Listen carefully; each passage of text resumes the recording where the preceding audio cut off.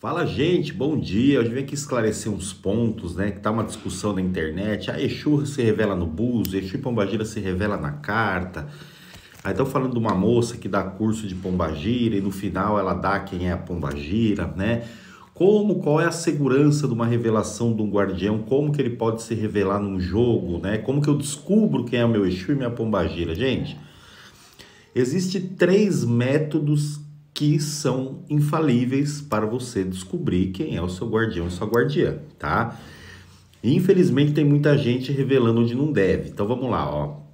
O primeiro método infalível, tá? É você incorporar e o Exu ou a Pombagira se apresentar com o nome, tá? Isso é o método tradicional, né? Para quem vai num terreiro e tudo mais. O outro método é se você participa de uma corrente mediúnica, né? E dentro desse terreiro desse templo existe um guardião, um Exu incorporado, firme, de confiança. Ele consegue, né? Uma pombagira também, ele consegue sim passar para você quem é o Exu que está te acompanhando, a pombagira que está te acompanhando. Mas isso também tem que tomar cuidado, por quê? Porque aquele médium pode não estar totalmente incorporado, tá? E o outro método, gente, são os búzios, né, que são considerados búzios da quimbanda, tá? Que são sete búzios com alguns fundamentos. Que esse búzio, gente, a gente vai jogar, vai bater na sua coroa, ver a energia que o guardião vem na sua coroa, depois tem que buscar o reino desse guardião dentro da cabala do Exu, né? Então se mostra um reino ali dentro, dividido nos reinos da Calunga, né? Reinos de rua, é, que são as encruzilhadas, o reino das almas. Dentro desses reinos tem sub-reinos, como o reino da lira, tudo isso se resolve nesses búzios consagrados não a Exu Orixá, tá? Exu ancestral, guardião, povo de ganga. Isso aqui é feito por um Exu dentro de um assentamento, tá? É, como que eles não se revelam, gente? Jogos de carta. Jogo de carta é impossível de você encontrar um guardião porque ele não vai falar sobre reino ali. Então, o jogo de carta não fala sobre Exu e Pombagira. Búzios brancos de candomblé não fala sobre Exu e Pombagira é, guia espiritual, tá? Lá ele vai responder por Exu Orixá.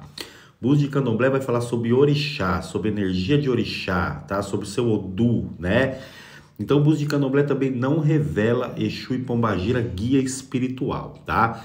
Então, só deixando claro os métodos que a pessoa pergunta que são confiáveis, tá bom? Axé, gente, axé. Salve o povo da Macumba, salve o clã, salve a espiritualidade livre. Salve o nosso povo ancestral, gente. Salve Exu e Pombagira, salve as forças. O clã Nova Ordem, o culto livre ancestral, uma plataforma, uma egrégora de ensino a você a cultuar o seu Exu e a sua Pombagira de forma livre, livre de regras, livre de dogmas, livre de preceitos, onde ensinamos você a fazer suas magias, como cultuar Exu e Pombagira, como fazer suas firmezas. Você vai trazer a força do seu ancestral de forma totalmente diferenciada. Exatamente, gente. Para quem também quiser conhecer quem são esses ancestrais, né? A gente também faz um jogo aí de revelação do seu Exu e da sua Pombagira para saber o nome e o reino que eles pertencem, tá?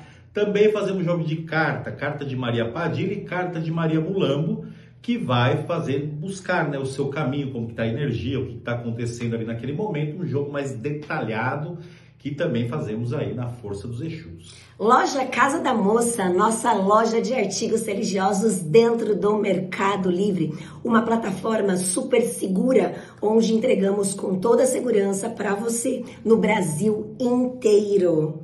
E também, gente, tudo isso que a gente falou, tá? Tá no QR Code que fica aí na telinha ou na descrição do vídeo, todas as informações do que falamos. Se inscreva no canal, ative os sininhos e vai ser um prazer ter você aqui. Salve o povo da Macumba! Salve a banda, gente! Axé!